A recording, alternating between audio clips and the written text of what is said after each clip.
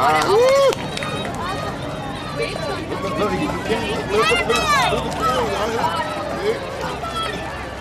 gotta wave to people, Devon,